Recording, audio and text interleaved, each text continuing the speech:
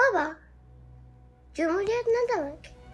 Gel, ben sana anlatayım nedir Cumhuriyet. Cumhuriyet, bir yörük köyünden çıkıp belediye başkanı olabilmektir mesela.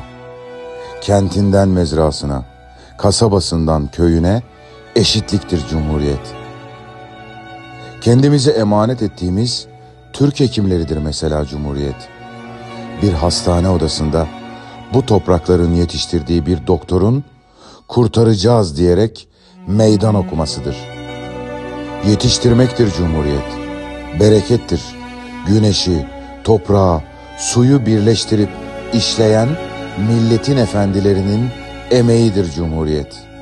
Hiç şüphesiz ki Antalya dünyanın en güzel yeridir diyen atamızın izinden gitmek, tüm dünyaya dünyanın en güzel yerini anlatmak, milyonlarca konuk ağırlayıp her birine misafirperverlik dersi vermektir Cumhuriyet.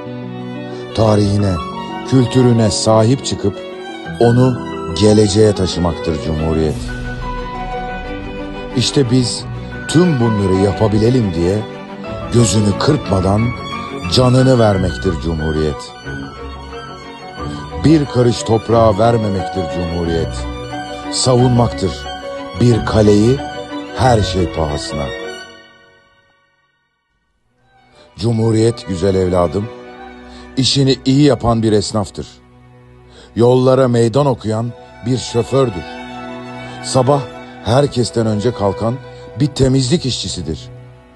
Kendi ayakları üzerinde duran kadınlardır. Bizi yarına taşıyan öğretmenlerdir Cumhuriyet. Ve sensin Cumhuriyet.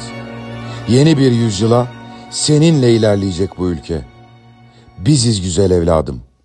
Cumhuriyet biziz. Cumhuriyet bizim. Cumhuriyet biziz. Cumhuriyet bizim.